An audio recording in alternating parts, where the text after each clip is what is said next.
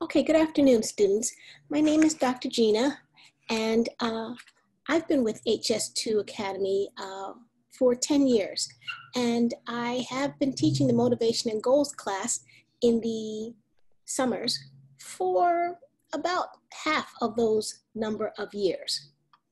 So uh, it's one of my favorite classes to teach because motivation is probably 50% of doing well academically.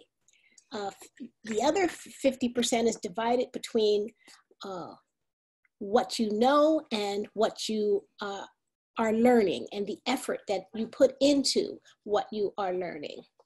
So uh, obviously I consider motivation very, very important. Okay, so let me get up our text here. I'm going to share the text and uh, I welcome you all. So in order to begin our discussion about motivation, we're going to read a story together. It's a story about Simon and his dream. You'll get a chance to see Simon live out his life in two different ways. It's kind of like a movie with two different endings, an alternative ending. Uh, these uh, two different ways will help you understand the curriculum that we have planned for today and for the weeks to come. So before we read, let's learn a few terms. Motivation is defined as the process that initiates, guides, and maintains goal-oriented behaviors. Motivation is what causes us to act. Some of us are motivated by fear, uh, especially when it comes to our schoolwork and grades, okay? We are afraid of our parents being angry. We are afraid of failing. Uh, but we're going to talk about other forms of motivation like excitement, uh, ambition, uh, curiosity. Okay, curiosity can motivate you. The desire to know more about something can be a powerful motivation. There are two different types of motivation intrinsic motivation that comes from within a person, for example, if you are in this class because you have an interest in improving your motivation and goal setting abilities, that is intrinsic motivation. Okay, I think maybe someone just joined us. Anna, welcome. Extrinsic motivation is a type of motivation that comes from outside of a person. Uh, we're, we're very familiar with those parents, teachers, maybe even extended family members like aunts, uncles, grandparents. They have expectations, even siblings. Sometimes siblings will put pressure on us in, in one way or the other, direct or indirect pressure. A little bit of, sometimes there's a little bit of competition bet between siblings. Uh, and that can be extrinsic motivation. The most important thing to have, of course, is intrinsic motivation. Now, in your own words, explain intrinsic motivation.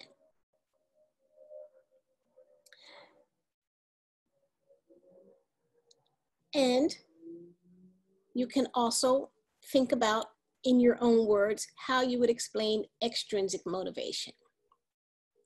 And we're going to read the story.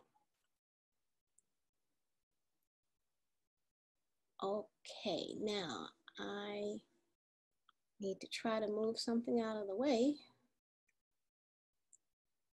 All right. Here's the story of Simon.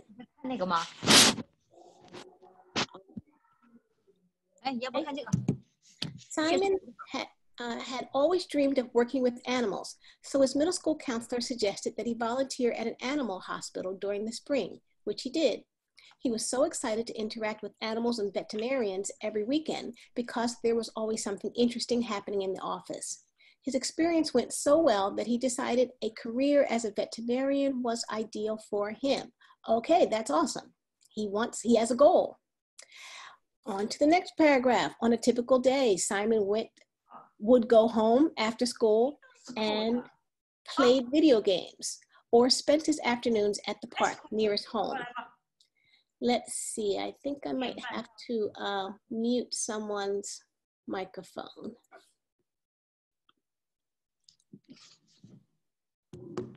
I can't, it looks like everybody's microphones are muted. but uh, we hear some talking in the background, but we'll go on. He was always available when any of his friends wanted to come over, and if he wasn't spending time with them, he was reading their status updates on Facebook. He really enjoyed feeling connected to others all the time, uh, or just having the type of fun he used to have in elementary school. Okay, we've got some interesting concepts going on here. Feeling connected to others all the time, going home and playing video games, always available when his oh, friends want to come over. Okay, these are some red flags. Unfortunately, his habits affected his grades. He often struggled to do his homework and only did it to avoid grounded by his parents. Let's see. Uh, it sounds like uh, we need to mute someone's microphone, but it looks like everybody is muted. I can't see what where the problem is. Uh, okay. So anyway, uh, so uh, he found it especially difficult to study daily, even though he knew that cramming for tests was a bad idea. His grades were low, not surprisingly, but he didn't want to talk about that since his parents would lecture him. He really wanted them to be proud of him like they were proud of his big sister, but he felt like he had disappointed them and it was too late to make up for it. So he buried his head in the sand, avoiding communication with anyone who brought up his grades. He wouldn't even talk to his big sister because she always asked him about his homework. So he's just avoiding the situation. That usually makes things worse. So it shocked everyone when Simon talked about becoming a veterinarian at the dinner table that evening. His face contorted in a way that nearly scared his mother and made his father laugh out loud. His bright brown eyes grew wider and wider as he shared the story of how Dr. Schatzberger saved a Siberian husky named Mikey, who was bitten by a rattlesnake. The owner brought Mikey in along with the rattlesnake, holy smokes, which he caught just in case the veterinarian needed to know what type of antivenom to use. Simon told them that there are two types of antivenom, mon monovalent and polyvalent. Monovalent works against one type of venom and polyvalent works against many types of venom. He said Hmm, let's see how I can get this out of the way.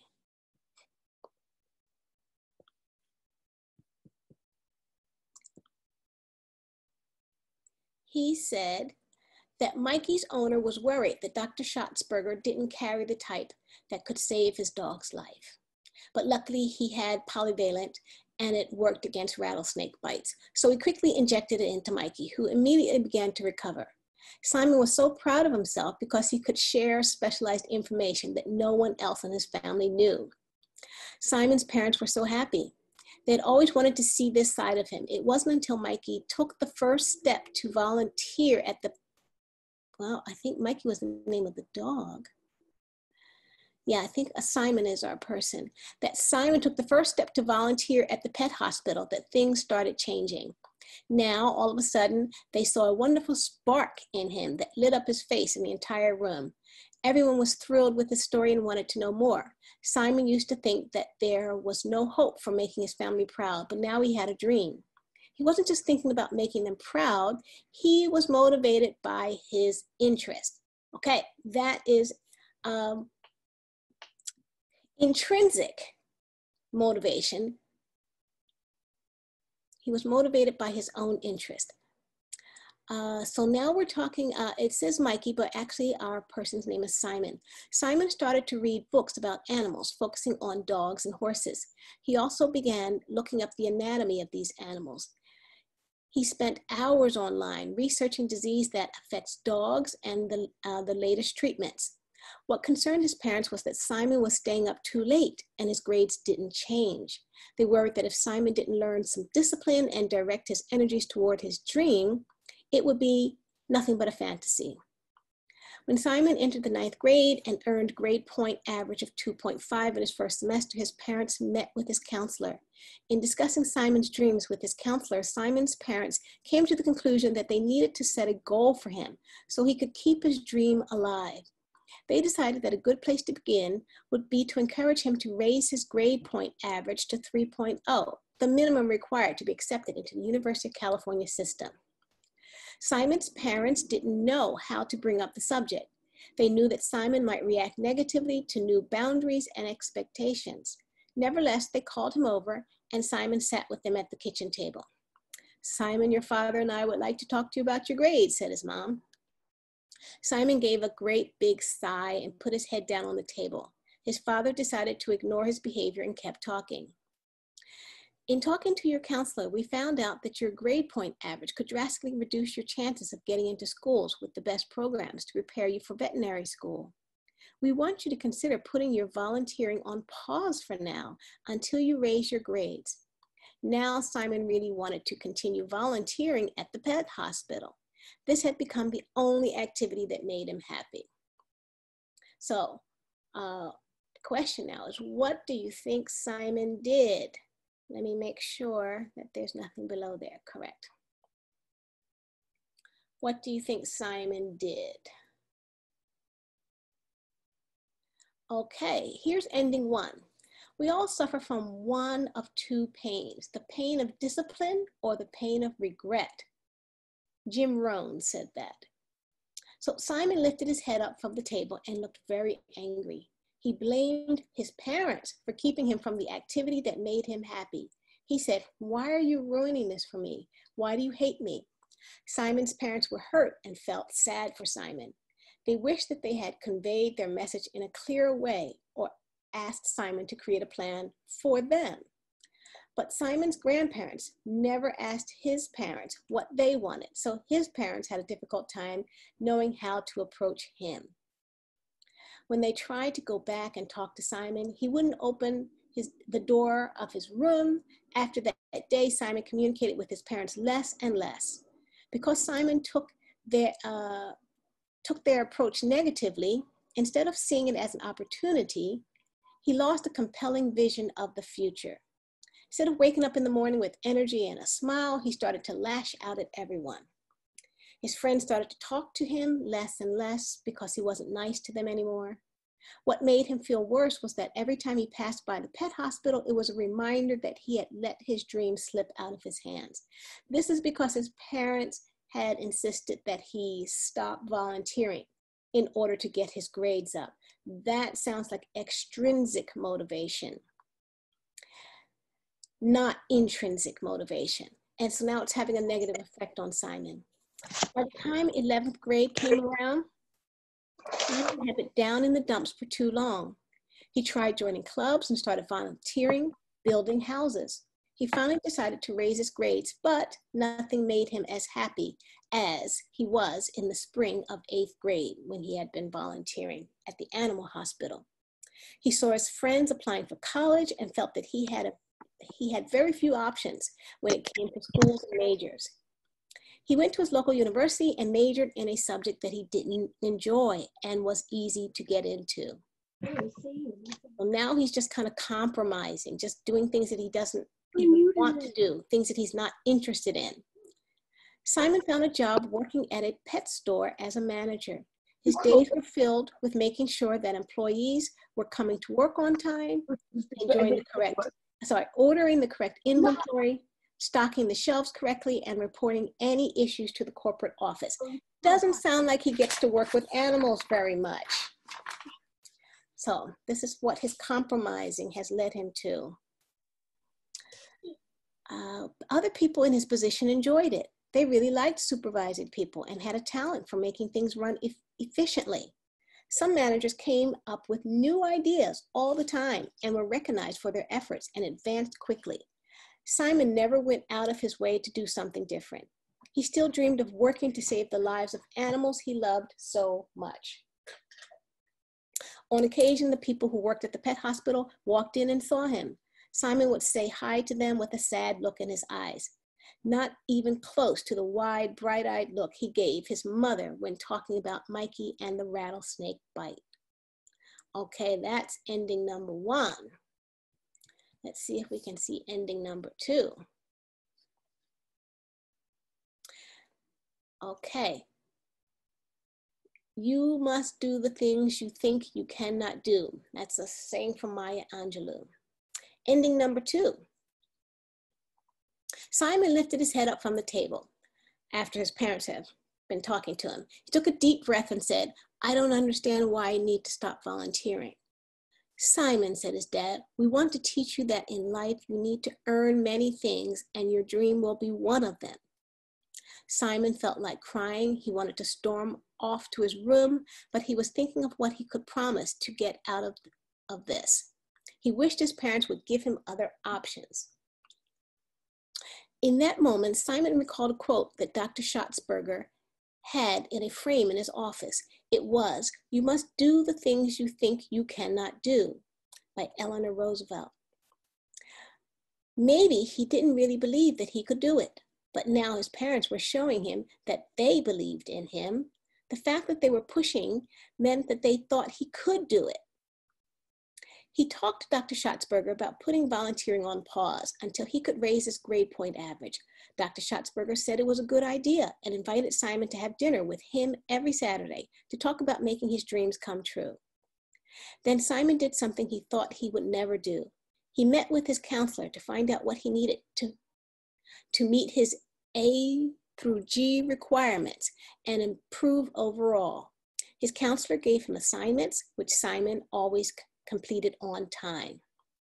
Simon's friends missed him, so they started asking him what was going on. Simon told them all about his dream. One said, friend said, Wow, that's so cool. Maybe I can come over and study with you. My mom wants me to get my grades up too. His name was Samuel, and he became Mikey uh, Simon's best friend. When it came time to apply for college, Simon had a grade point average of 4.4, 10 advanced placement classes, and an SAT of 2,350. He was accepted to Brown University with a major in biology. Then he went on to veterinary school at the best veterinary program in the country at the University of California, Davis. Today, he works alongside his proud mentor, Dr. Schatzberger, saving the lives of animals every day. Dr. Schatzberger gets a laugh out of watching Simon's bright brown eyes grow wider and wider with every new bit of interesting information. So obviously these are two different endings to the story, but really there's two different middles to this story as well. The difference is how Mikey and how his, sorry, not Mike, he's Simon and his parents handled that talk around the dinner table. Uh, here's some questions for us. Uh, I'd like you to jot down your answers on a piece of paper, and I think I can unmute the microphones to hear our responses. What is Simon like in middle school? That's when he started volunteering at the veterinary school what is important to him and what are his desires. What does Simon do? Why does Simon do his homework in the beginning of the story? And what type of motivation is that? Who suggests that Simon volunteer at an animal hospital and why? Hmm, i have to look back. What is Simon's big dream? Before his parents intervened, what is Simon doing to go after his dream before his parents sat him down at the table and said that he needs to make a decision about volunteering. What was Simon doing to go after his dream? And how do Simon's parents feel about how he is supposedly going after his dream?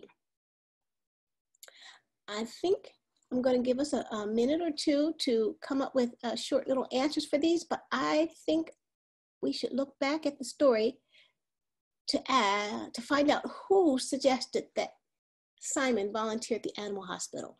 Who first suggested that?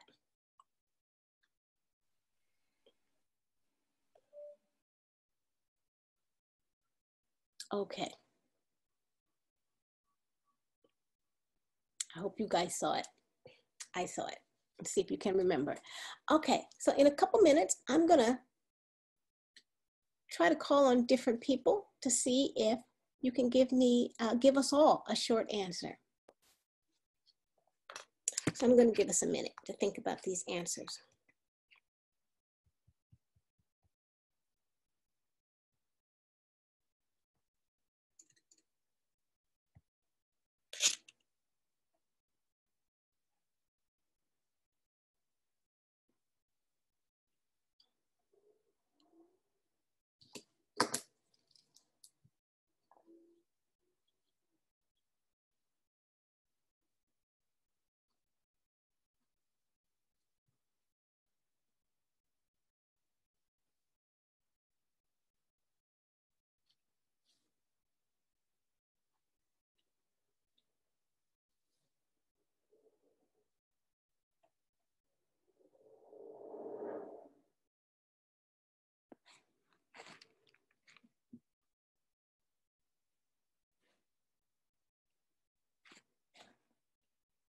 10 more seconds.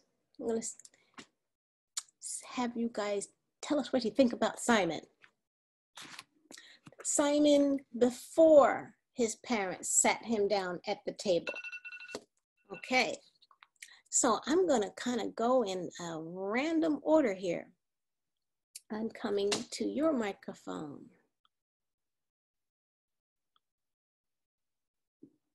Hmm. Okay, I'm- Anna, what do you think Simon is like in middle school and what is important to him and what are his desires? Um, I think in middle school he really enjoyed being like a volunteer with pets, volunteering with pets, and he wanted to major in veteran. And like during his like the first ending, it wasn't the best ending. Uh, Yeah. th- this is true. Um, uh, we're, the, the two endings come after uh, his parents sit him down at the, at the dinner table. Oh, and then yeah. we have uh, that decision. But let me ask you this. Um, are you familiar with the word responsible Yeah. and irresponsible? Yes. Where do you think our friend Simon falls? At the beginning, when he's in middle school. Irresponsible. Irresponsible. Can you name one thing that he does that's a little bit irresponsible, especially considering he wants to go to medical school? You have to go to veterinary school to become a veterinarian. I mean, it's pretty much the same as um, medical school. I think it's four years, just like medical school. So that that's a big ambition. All ambitions are big ambitions, but uh, considering that ambition, name one thing that Simon did that was irresponsible. he pretty much had a fixed mindset that led him to basically lack off. Absolutely. Absolutely. And uh, I'm going to name something else that he did. Okay, and I'm going to put you back on mute for a moment so I can see if I can hear from a couple other people uh, before we run out of time for today. Um, Alex, choose a question and give us a response.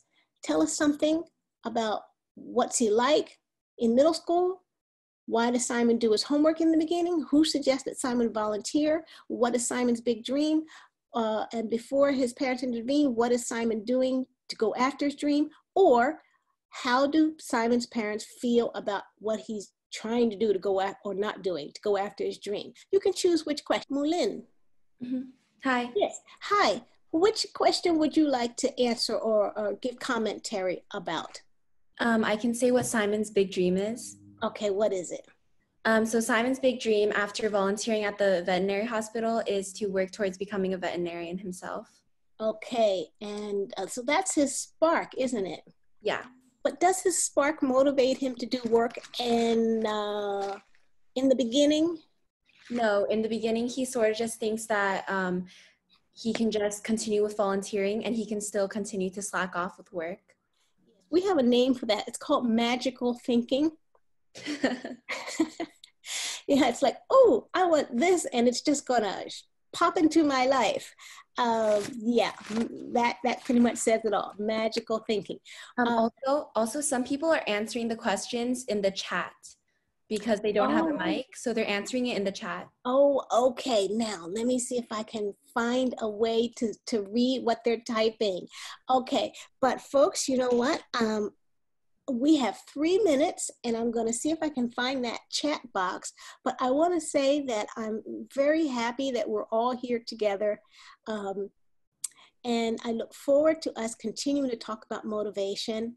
Uh, like I said, um, I think that motivation is 50% of anybody's performance, whether it's on a test, your everyday academics, or your job.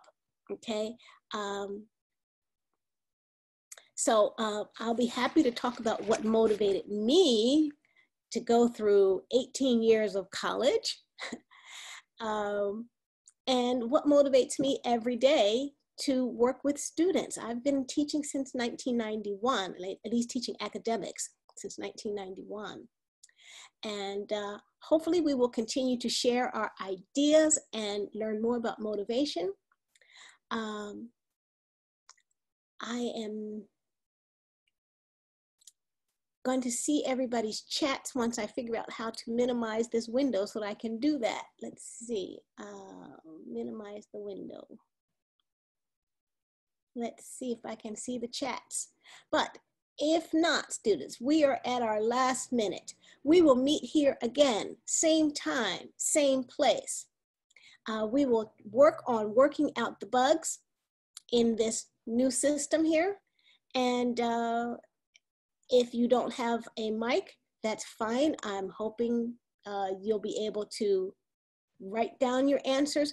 Uh, and there, there may be more writing uh, in this course. You may want to get a notebook for writing down the goals and keeping them from one week to the next, as well as from one year to the next. Okay, a binder or a notebook. Okay, students, I am going to uh, sign off now and I will see you next time. Take care. Bye. Bye bye. Thank you. You're welcome. Thanks for being here. See you soon.